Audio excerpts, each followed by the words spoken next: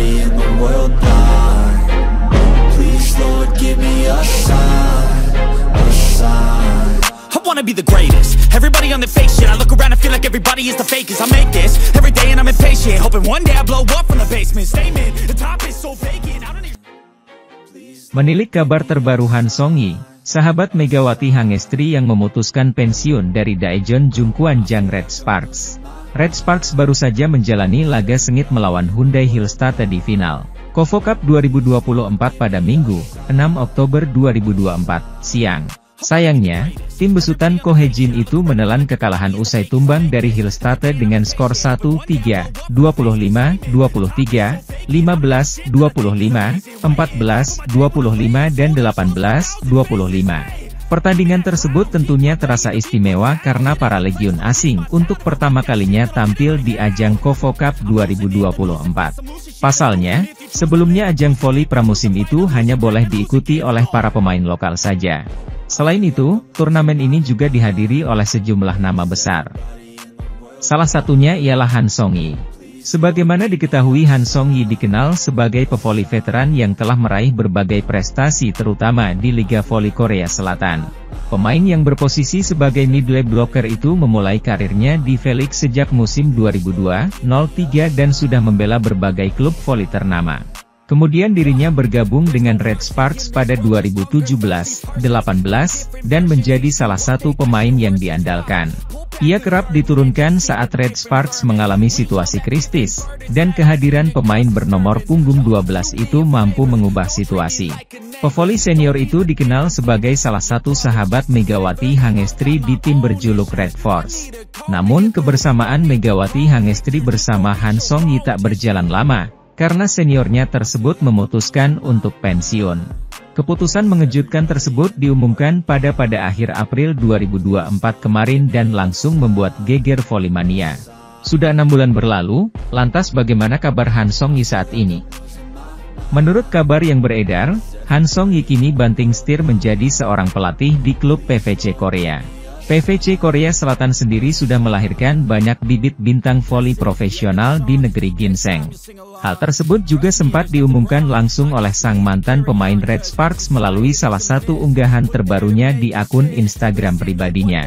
Namun meski sudah pensiun, akan tetapi Han Song Yi tak pernah lepas dari dunia voli lantaran kini telah memutuskan banting setir menjadi pelatih. Sementara itu, Red Sparks menjadi runner-up Kovo Cup 2024. Pelatih Red Sparks, Ko Hejin, pun soroti mental Megawati Hangestri CS usai gagal juara. Ya, Red Sparks harus puas pulang sebagai runner-up Kovo Cup 2024 setelah menelan kekalahan di final yang berlangsung pada Minggu 6 Oktober 2024 di Tonyeong Gymnasium. Mereka tumbang di tangan Hillstate dengan skor 1-3, 25-23, 15-21, 14-25 dan 18-25. Kekalahan itu terasa menyesakan bagi Red Sparks.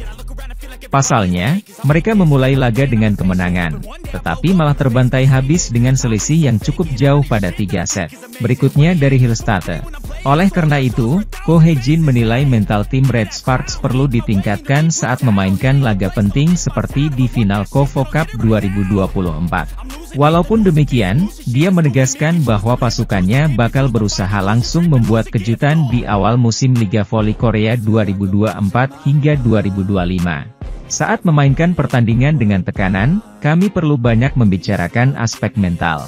Kami akan berusaha semaksimal mungkin untuk menciptakan sensasi sejak awal di musim mendatang, kata Ko Hejin. Megawati dan Vanja Bukilic menjadi dua pemain yang banyak menyumbang poin bagi Red Sparks di final Kovo Cup 2024. Kedua pemain asing tersebut masing-masing menorehkan 19 dan 17 poin. Bukilic sendiri menjadi rekrutan pemain asing teranyar Red Sparks untuk menatap Liga Voli Korea 2024 hingga 2025. Ko Hejin mengungkapkan bahwa dirinya sengaja banyak memainkan pemain asal Serbia itu di turnamen pramusim tersebut, agar bisa beradaptasi dengan cepat bersama tim barunya. Bukilic menjadi pemain utama di turnamen ini. Pelatih Daejeon Jungkwanjang Red Sparks, Ko Hejin mengungkap salah satu faktor yang membuat Megawati Hangestri dan kolega kalah dari Hillstate di final Kovo Cup 2024. Ia menilai itu tak luput dari kondisi fisik anak asuhnya.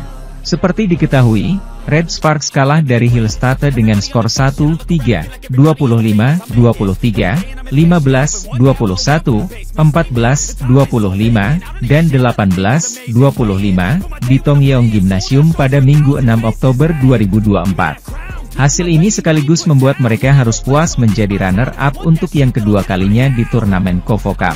Ko menilai fisik anak asuhnya tidak oke di laga krusial tersebut.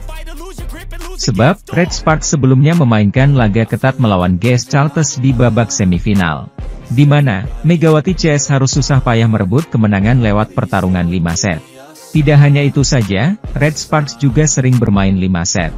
Pada babak penyisihan grup, Megawati dan kolega juga mengunci kemenangan melawan IBK Altos dan Pink Speeders lewat pertarungan 5 set. Karena itu, Ko menilai energi anak asuhnya sudah terkuras. Tampak ada masalah stamina.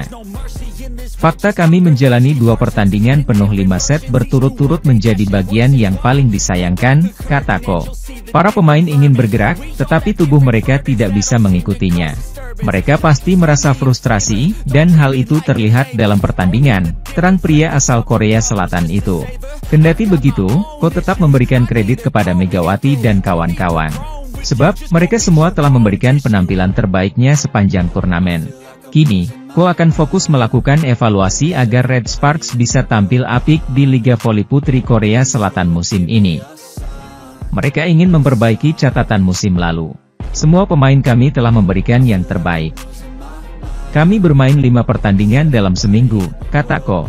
Sekarang kami akan beristirahat sejenak dan mempersiapkan diri dengan baik.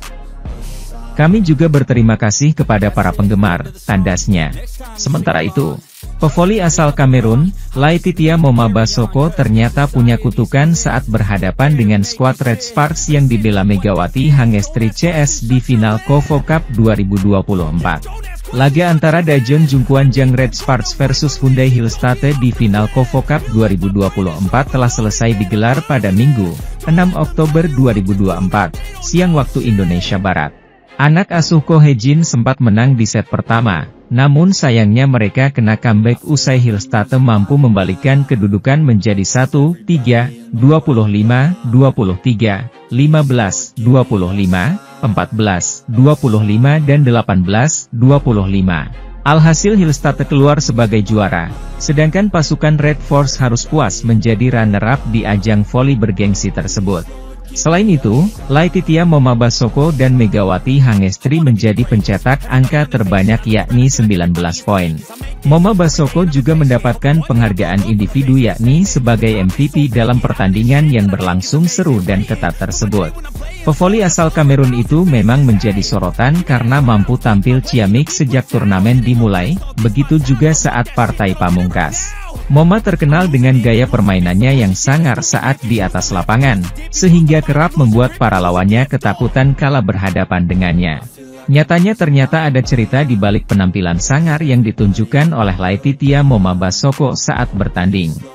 Hal ini diungkapkan oleh Kang Seong Hyung selaku pelatih Hyundai Hillstate, yang mengatakan bahwa ternyata pemain andalannya memiliki kutukan yakni jika dirinya tersenyum selama pertandingan, maka penampilannya tidak akan berjalan sesuai dengan rencana. Awalnya dia bukanlah pemain yang seperti itu, tapi sepertinya ada kesalahpahaman, kata Kang Seong Hyong. Dia memiliki kutukan di mana jika dia tersenyum maka permainannya tidak berjalan dengan baik, jadi dia tetap memasang wajah, poker face. Tapi saya menyuruhnya untuk menikmati laga dan dia menunjukkan senyumannya sesekali, jelasnya. Sedangkan Moma sendiri mengaku dirinya sempat gugup namun mampu mengatasinya dengan baik dan berhasil mengantarkan timnya menang.